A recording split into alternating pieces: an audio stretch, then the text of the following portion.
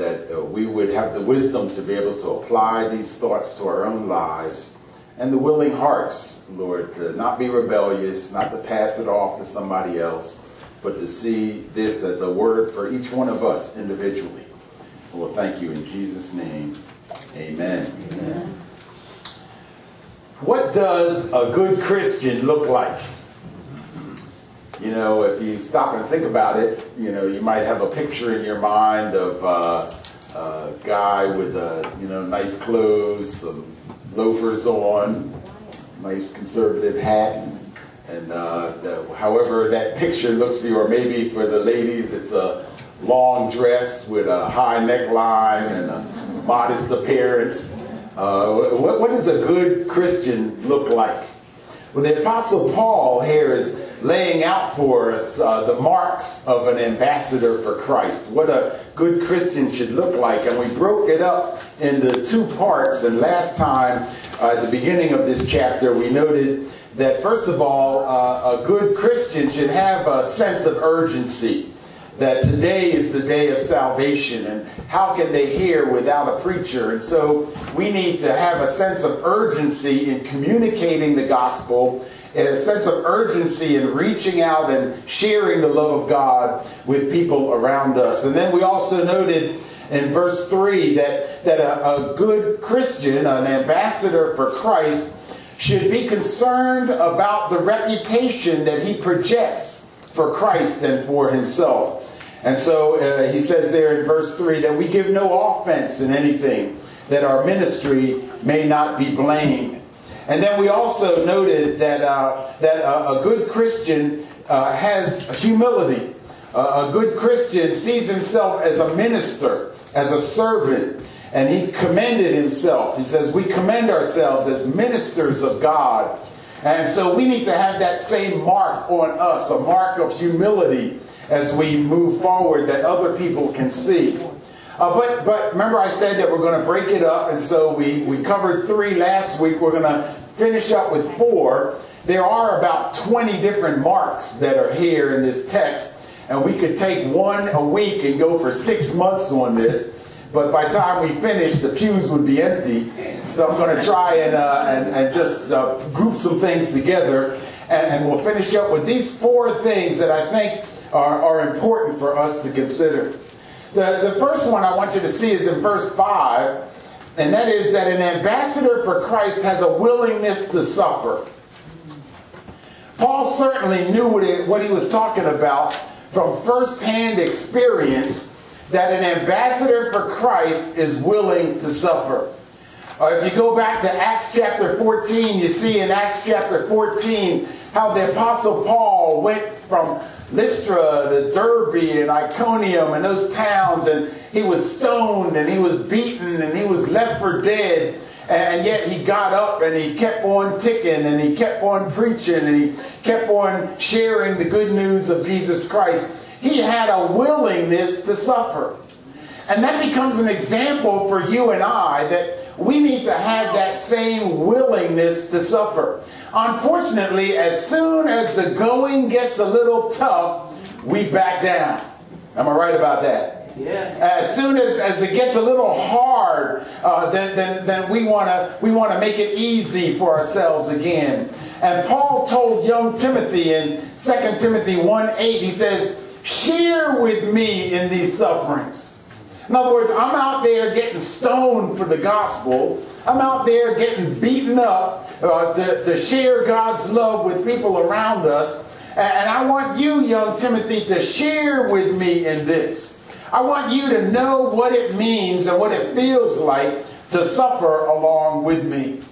But the problem for many of us is that we value comfort and ease more than we value the gospel. We need to value the gospel more than we value comfort. And if there was like a little scale in your heart, if you put in your heart this scale and, and which one values heavier, comfort or the gospel? Well, I guess for some of us it would depend on which night it is and what's on TV. But but we we you know it starts to starts to tilt on the side of comfort and ease. And Paul is challenging us, I believe, by his own example and by the example of Christ, that, that we need to value the gospel. We need to value our role as ambassadors for Christ. We need to value the job that we have of sharing the gospel with those around us. And so uh, we, need to, we need to set aside the agenda that we have to make life as comfortable and as easy as possible in our own experience. A mark of a good ambassador for Christ is his willingness to suffer. When his willingness to suffer outweighs his desire for comfort. And so uh, that's the first mark. It doesn't matter how nice your suit looks. It doesn't matter how big your Bible is. It doesn't matter how nice a brim you wear to church uh, or, or how high your dress line could be up over your forehead. The fact of the matter is, you're not looking like a good Christian if you're not demonstrating a willingness to suffer for Christ. I said it. Everybody can run out of here.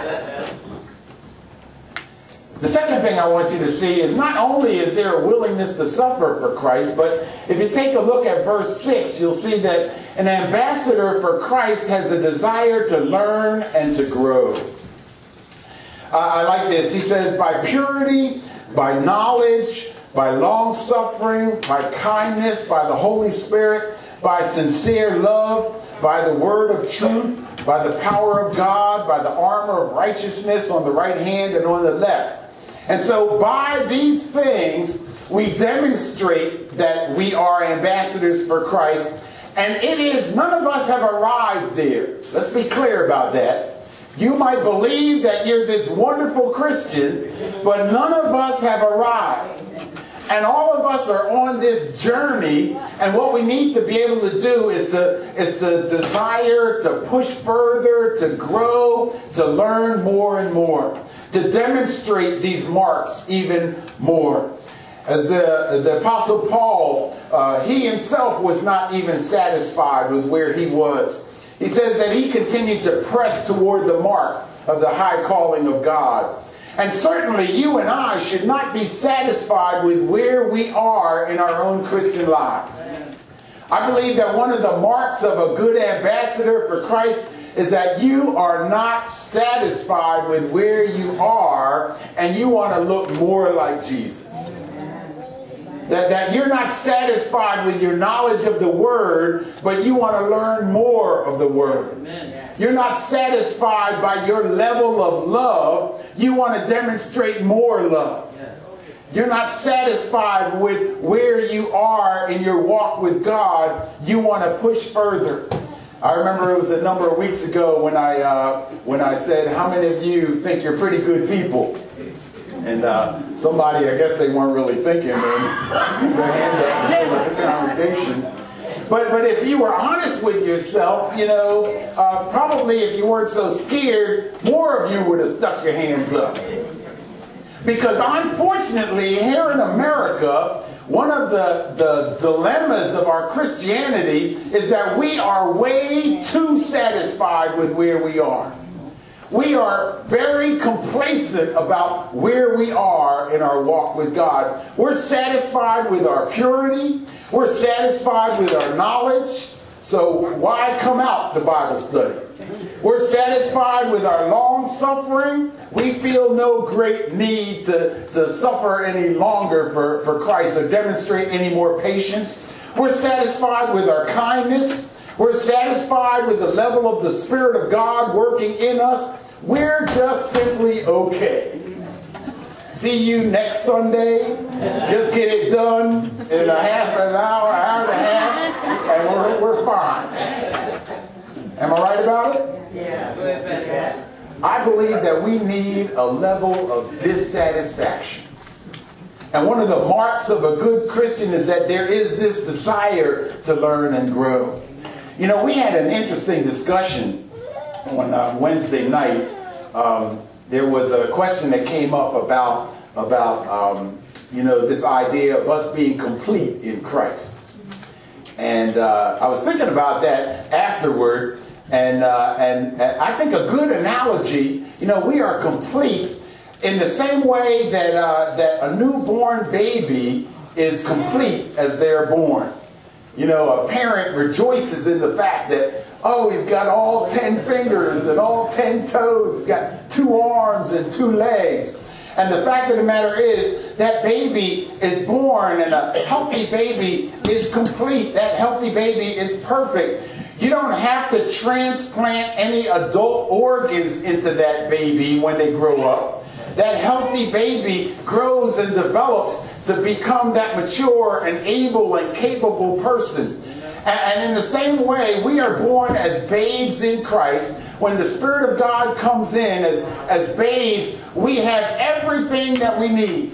We talked last week about the fact that you don't need any more Jesus. Jesus needs more of us. Remember we said that? And we have all the spirit that we need. We have all the power that we need. We have uh, every piece that, that God requires for us. We are complete in Him. But just like a little babe, we've got to continue to grow. We've got to continue to develop. We should never be satisfied until we reach that level of maturity that God would have us to reach. And so uh, we're born again as new babes in Christ. But from day one, we have all that we need. We are complete in Christ with the instruction and the encouragement uh, that He gives to us. And so while we never fully attain the stature of Christ, we have everything that we need to progress in purity, in knowledge, in patience, in kindness, in the power of the Holy Spirit, in love, in the word of truth, with the armor of righteousness, whether in honor or dishonor, whether people are talking about you with an evil report or a good report, whether you become famous or stay unknown. The fact is that we are equipped for every good work, and so we need to never be satisfied until we're using all the tools that have been given to us to represent Christ. Look at verse 7. In verse 7, we find reference to the power of God that's given to us. And I'd like to say that an ambassador for Christ depends on God for success. If you want to know a mark of a good Christian, a good ambassador for Christ, it is someone who depends on God for success. And John 15, 5, we looked at that briefly, at least referred to it last week uh, gives us that metaphor of a branch and the vine and, and how the branch is totally dependent on the vine. In the same way, we as branches are totally dependent on Christ. We're dependent on the power of God flowing through us. It's sort of like the power of gasoline in a car. You know, the power of gasoline can have explosive power or it can have slow burn power that can move a car 300 miles. You, you can take a, a can of gasoline and light a match and throw it in there and boom, have a big explosion, a big display of power. And every now and again, the power of God is seen in some explosive power going all the way back to the day of Pentecost. And, and periodically, God throws a little gasoline on a situation and demonstrates some explosive power and some miracles that, that take place. But over church history, for the 2,000 years of church history, much more kingdom building has been done through the slow burn of God's power through his people. Now, what do I mean by that? The slow burn of God's power is, is as God, through the Holy Spirit, works through us and demonstrates, produces in us the fruit of the Spirit and the gifts of the Spirit. And we've talked about the fruit of the Spirit is Galatians uh, 5. It says that love, joy, peace, long suffering, gentleness, goodness, faithfulness, those things are, that are what the Spirit of God produces in us that other people can see. And I believe that this list here, some of the marks of an ambassador, uh, many of them are taken right out of the fruit of the Spirit, right out of the things that the Spirit of God produces in us. Are you with me? But then there is the gifts of the Holy Spirit. And the gifts of the Spirit of God are those, and I've given you this definition before. If you, if you haven't heard it, write it down. Here's a good Tony Hart definition of the gifts of the Holy Spirit. The gifts of the Spirit of God are the supernatural abilities given to us by the Holy Spirit that enable us to edify the body of Christ. Do I have to repeat that? It's the, it's the supernatural gifts of the Spirit of God, the supernatural abilities that the Spirit of God gives us that enable us to edify the body of Christ. And so when we talk about spiritual gifts, we're not talking about talents. We're not talking about natural talents. We're talking about supernatural abilities given to us by the Spirit of God. Now, I always say this, and take a note of this, that because God is sovereign, and He knew you from before the foundations of the world, He knew who you, how He was going to make you, how He was going to design you, there is naturally then a correlation oftentimes between your natural abilities that God has given you as sovereign God and where he wants you to serve. And so oftentimes his supernatural gifting in your life will be in line with those natural abilities. But not all the time. Sometimes God wants you to work and will gift you and enable you to work in an area that there is no seemingly natural gifting in. And so oftentimes there are people that are called in the ministry where uh, they feel a little uncomfortable because there, there, there just doesn't seem to be a natural fit. It doesn't go along with their natural abilities. But, but, but God gives us this supernatural ability to be a blessing to edify the body of Christ. And it is as we allow the Spirit of God to go to work in our lives that that ability is slow burn through us and we become a blessing to people around us. Are you hearing me? And so rather than always looking for some explosive, miraculous thing to take place in our lives, maybe what we need to do is to say to the Spirit of God, Lord, every day of my life, I want to depend on you. Amen. Every day of my life, I want to see the Spirit of God manifest himself in me in love, joy, peace, long suffering, gentleness, kindness, goodness. Every day of my life, I want to see that slow burn of God developing His life in me. And then I also want to see God use me as He gifts me and enables me to be a blessing to other people. Whether it's in the area where I'm naturally fit or in the area where He wants to use me in some special way. And I believe that a mark of a true Christian, a mark of a good ambassador for Christ, is that on that daily basis we depend on God for success. As we step into the world to represent Christ, we do it in complete dependence on Him. We spend so much every day. Time, money, we use up, we waste so much. We spend time and money every day until it's all gone precious resources, powerful resources. What if you what if you reinvested your time into prayer, your resources into support to help us plant churches, prepare leaders and proclaim the gospel? What if you became a prayer fellowship partner? GOGF has been planting churches, preparing leaders, and proclaiming the gospel throughout the world since 1961. 14 churches on the eastern seaboard producing weekly radio broadcasts that reach around the globe. We have ministry training in India, Africa, and the Caribbean. Partner with us. Partner with God.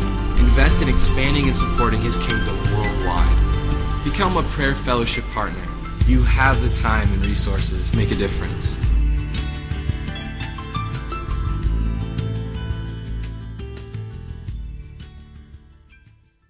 And then the fourth thing I want you to see is in verses 8 to 10.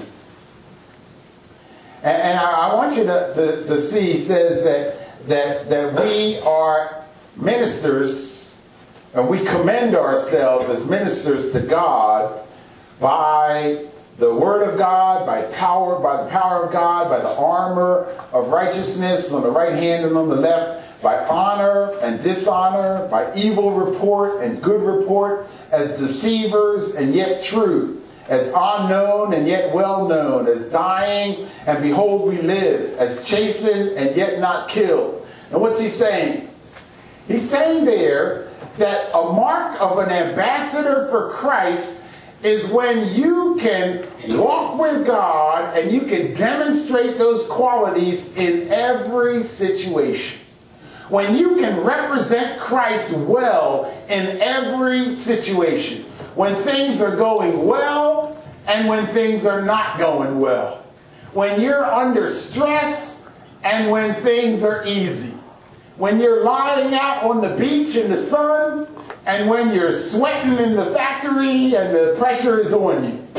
When you're in your family and all, and all the complications of family life come down on you, as well as when you're out on the, on you're by yourself walking in the park. In every circumstance and in every situation, one of the marks of an ambassador for Christ is that you can represent Christ well in every situation. Now, what does that mean? That means I can't blame my circumstance for my bad, my bad attitude. I can't blame the situation I'm in for losing my temper. I can't point the finger to other people for me, you know, uh, starting to spout out some bad language. I've got to be able to represent Christ well in every situation. Are you with me? And, and, and, that's one of the marks of an ambassador. You take him out of the easy situation and you put him in a hard situation and he just exudes Christ. You put, take him out of the light and put him in darkness and the darkness lights up. And he's able to represent Christ well in every situation. Boy, what a challenge for you and I. On the job, with the people that you don't like. Come on now. That guy, he just flashed, his picture just flashed into your mind. And you got to be able to represent Christ in vastly different circumstances. And so verse 4 is key. It says that in all things we commend ourselves as ministers of God. And so all of our excuses are thrown out the window. Uh, excuses like, I know I need to pray more, but I can't get up early because I have a busy day and need my rest. Or I, I know that I should be in church to fellowship and learn, but Sunday is my only free day. Or I, I, know that I'm not using my gifts for the Lord, but my children are so busy with sports and activities. Maybe when they get older. Or, or I know that I should be giving more to the Lord's work, but I'm trying to get that vacation paid for. The reality is that we all have our own unique hurdles. We all have our own unique challenges that we have to overcome. An ambassador for Christ is able to represent Christ well in every one of those situations. On good days and bad days, when there's encouragement or only discouragement, under stress as well as with help. And so the question is that I want to leave you with is what do you look like? Do you have a willingness to suffer for Christ? Is there in your heart a desire to grow and to learn? Is there a dependence daily on, the, on God for success? In every situation, are you able to represent Christ well through all the ups and downs of life? I'm going to ask you to bow your head and close your eyes. And I've said a lot, but I believe that the Spirit of God is able to take it, speak to your heart. And I just wonder, as you've been listening, if the Spirit of God is speaking to you about one or more of these areas you need to apply in your own life. If He can stir up some dissatisfaction in you, even right now, then I'm going to ask you to pray about that and ask God to become more real to you, that you can be the kind of ambassador that represents him well in every situation. Would you do it? And I might be talking to somebody here and you're not even sure that you're on your way to heaven. You're not sure that you're a child of God. You're not sure about your relationship with God.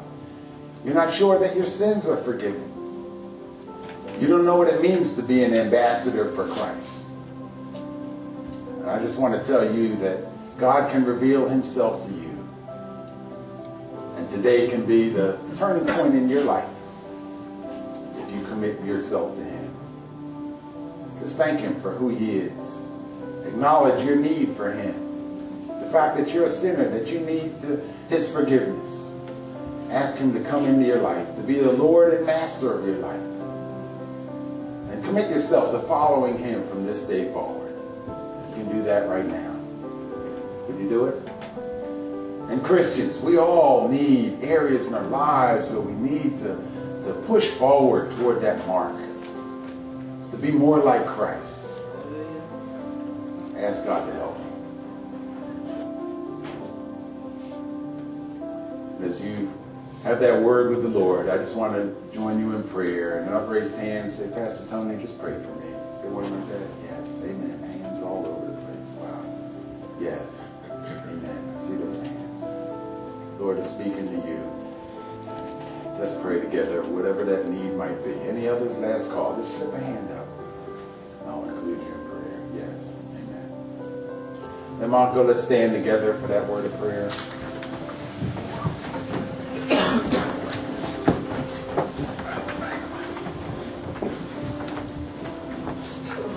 And Lord, again, we confess that we've fallen short.